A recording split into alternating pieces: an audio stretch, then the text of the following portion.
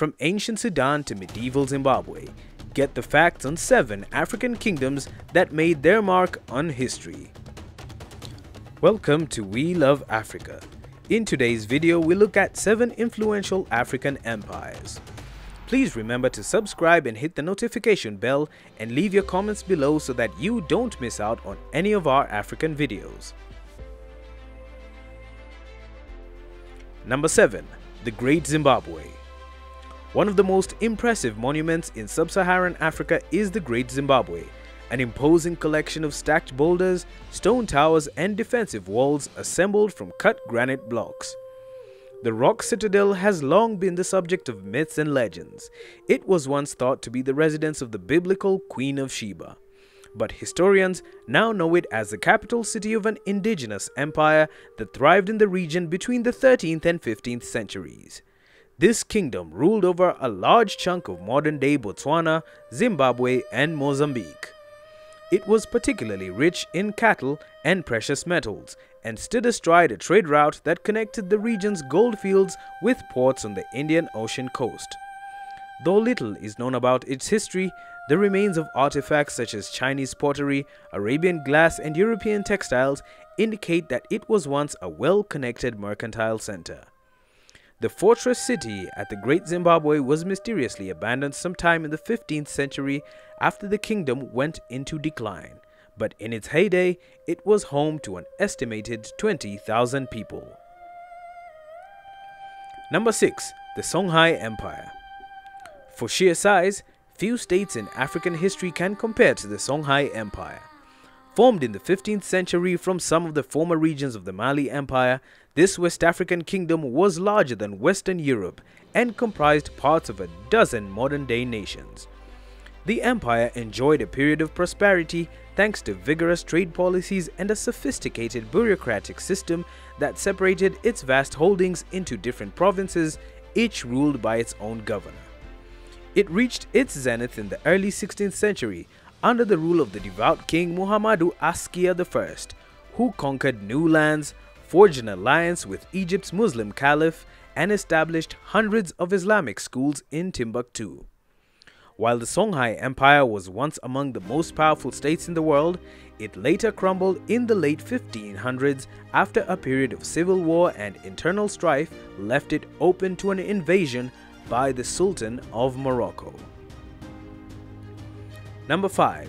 The Mali Empire The founding of the Mali Empire dates to the 1200s when a ruler named Sundiata Keita, sometimes called the Lion King, led a revolt against a Soso king and united his subjects into a new state. Under Keita and his successors, the empire tightened its grip over a large portion of West Africa and grew rich on trade. Its most important cities were Djenné and Timbuktu, both of which were renowned for their elaborate adobe mosques and Islamic schools. One such institution, Timbuktu's Sankore University, included a library with an estimated 700,000 manuscripts. The Mali Empire eventually disintegrated in the 16th century, but at its peak, it was one of the jewels of the African continent and was known the world over for its wealth and luxury. One legendary tale about the kingdom's riches concerns the ruler Mansa Musa, who made a stopover in Egypt during a 14th century pilgrimage to Mecca. According to contemporary sources, Musa dished out so much gold during the visit that he caused its value to plummet in Egyptian markets for several years.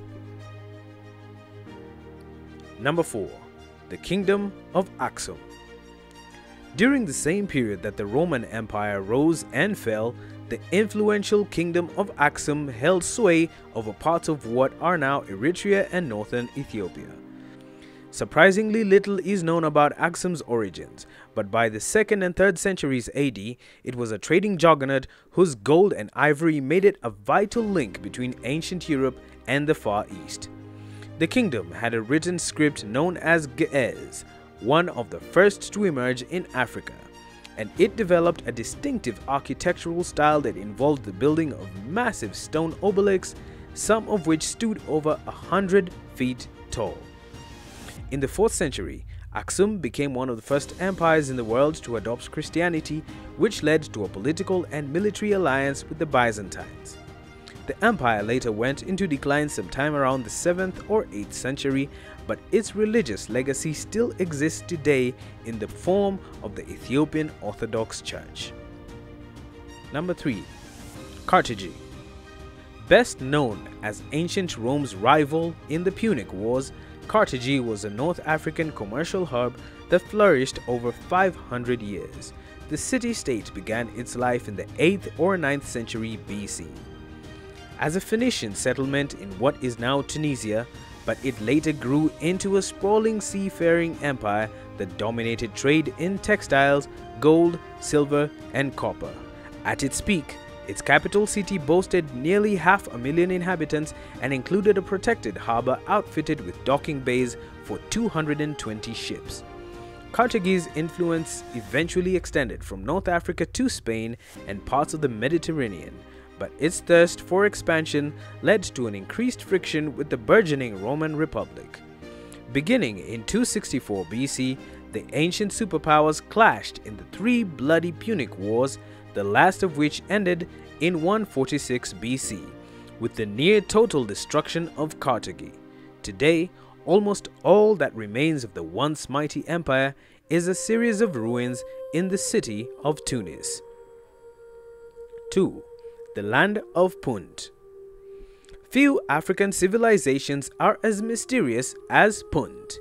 Historical accounts of the kingdom date to around 2500 BC when it appears in Egyptian records as a land of the gods, rich in ebony, gold, myrrh, and exotic animals such as apes and leopards. The Egyptians are known to have sent huge caravans and flotillas to trade missions to Punt, most notably during the 15th century BC reign of Queen Hatshepsut, yet they never identified where it was located. The site of the fabled kingdom is now a hotly debated topic among scholars. The Arabian Peninsula and the Levant have both been proposed as potential candidates, but most believe it existed somewhere on the Red Sea coast of East Africa. In 2010, a team of researchers tried to zero in on Punt by analyzing a mummified baboon that its rulers once gifted to the Egyptian pharaohs.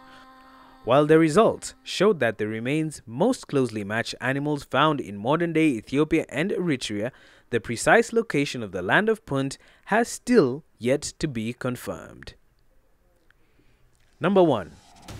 The Kingdom of Kush Though often overshadowed by its Egyptian neighbors to the north, the Kingdom of Kush stood as a regional power in Africa for over a thousand years.